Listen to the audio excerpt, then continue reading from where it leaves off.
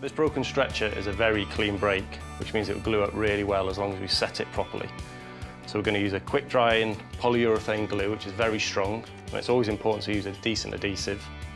And I'm always keen to put plenty of glue on. It's better to wipe off excess than not have enough on the joint. You should see the glue squeeze out when you close the joint up. We need to let this set now for about 10 minutes and then we can clean off the, the tops of the legs and fit the seat back on.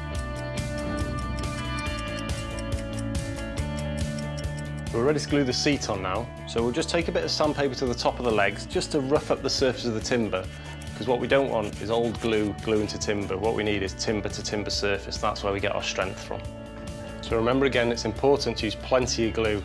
Personally, I don't think you can use too much. We use our rubber mallet to bash it back into place. Now we've got that back into position, we can address this crack down the centre now. So what we're going to do, we're going to squeeze some glue in, and we're going to use a long clamp to pull that together so all those joints set at the same time. And we take our clamp, get it into place. So then we use some softwood blocks so that as we pull the clamp really tight, it doesn't damage the timber seat. And then before the glue's set, the final stage is to reattach the screws what we're going to do now, give that half an hour to set. Once it's dried, we can peel off the excess glue and it's ready to use again.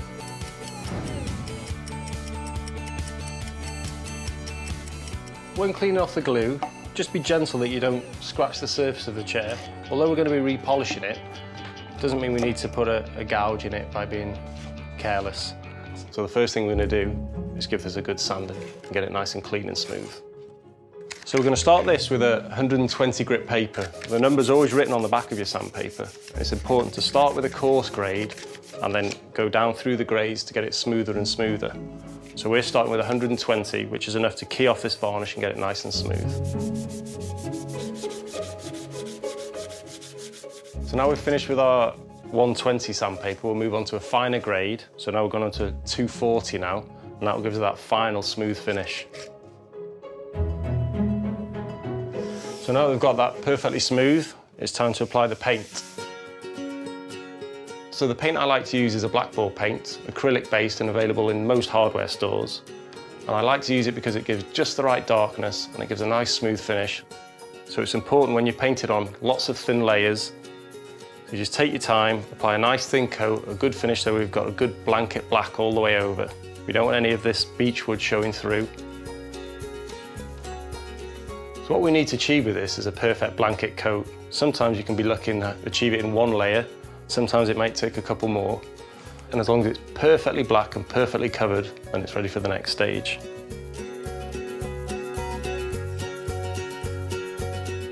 So there we go, all painted. We'll give that half an hour to dry.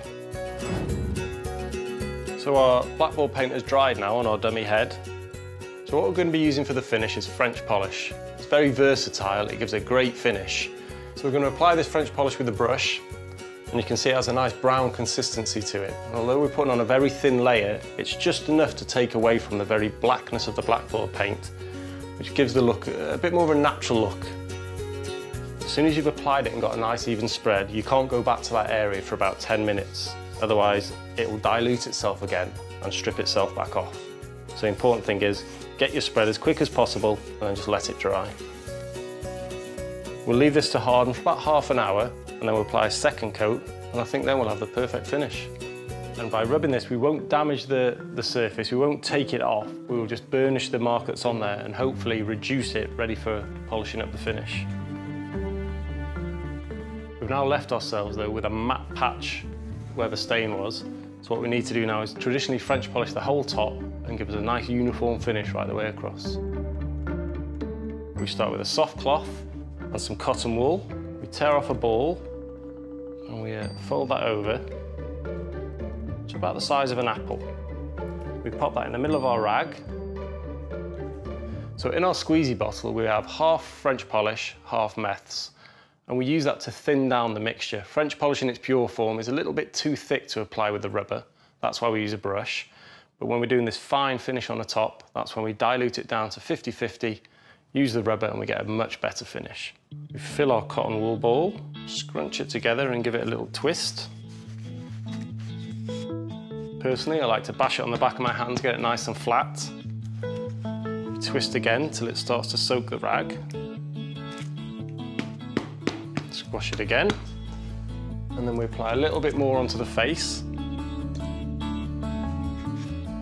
We start by very slow, straight and gentle strokes across the surface. And the important thing is not to overlap too soon. It must dry before you do another stroke across the same spot. So we do these very slow, very smooth strokes. And you just take your time, make sure you flow onto the piece of timber and then flow off the end. You don't put it down and start moving, you hit it moving. So to get a top like this nicely polished, you'll need to use the rubber for about 10 minutes.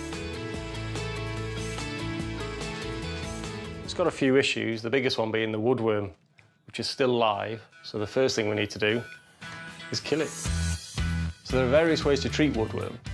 We're going to use the liquid form, we're going to apply it with a rag, and we're going to make sure we rub it into all the holes, cover the entire surface of the chair. We want to make sure we finish them off so they don't come back later on.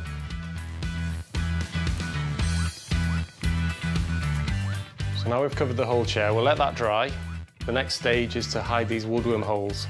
So my preferred technique is to use hardened wax sticks, which you can buy from hardware stores or online. Rub them in, force them right into the hole. Check the different colours to see which one matches best to the finish that's on the chair. I actually like the colour of both of these wax sticks. And chairs aren't a uniform colour just due to the natural beauty of the wood. So what we're going to do, we're going to use both sticks we're going to apply a lot of pressure and push them right, really deep into the holes. So now we take the excess off with our scraper. So that's gone quite well now. We just need to buff this off with a rag. What we've actually done is push the wax a bit deeper into the holes so they've become a bit countersunk so when they catch the light you can still see the wormholes. Even though they're very well hidden, they're not perfectly hidden. So we'll just repeat the process until they're full.